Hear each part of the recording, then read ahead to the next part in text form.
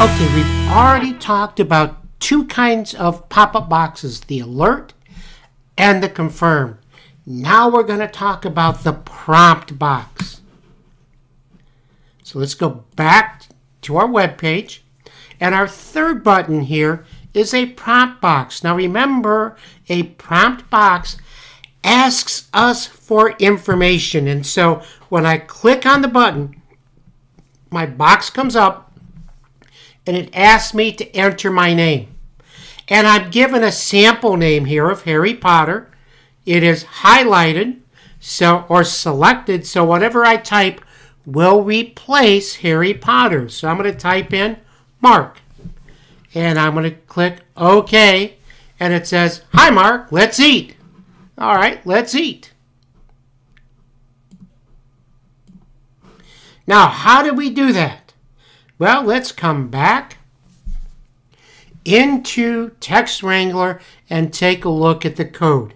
I'm up in the head section again, and I'm still in my JavaScript, and I'm looking at my last function. This one is called show prompt. So here I name the function. And then everything within these brackets is my function. So let's go line by line. The first line says create a new variable. And the name of this variable is name. And it is equal to the input that I get from the prompt function. Again, the prompt function is another one of these functions like confirm and alert that is part of JavaScript. We don't have to code it, we can just use it. But we have to pass some parameters to it. In this case, I'm passing two parameters.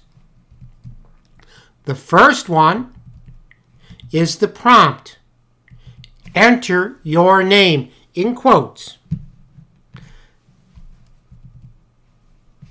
The second prompt and note they're separated by a comma. The second prompt is a sample or a default value that I want to display within my data entry area. So then I come down and I want to make sure I got something. So I say, hey, if the name is not equal to null. N-U-L-L, which means there's nothing there. And, in the way we specify, and is the double ampersand. Name is not equal to quote, quote, which is another way of specifying null. So the test is kind of redundant. And note that the not equal is an exclamation point for not and the equal sign. So if there's nothing in our name by any measure, we'll skip this line. However, if there's something there, anything there, we will write out to the document our message hi in capital letters followed by a space and then we concatenate name to the end of that and to the end of name we concatenate a period a space and the phrase let's eat exclamation point. and that's all there is to it so what we accomplished here was we got some input from our viewer and we used it to display something back to them.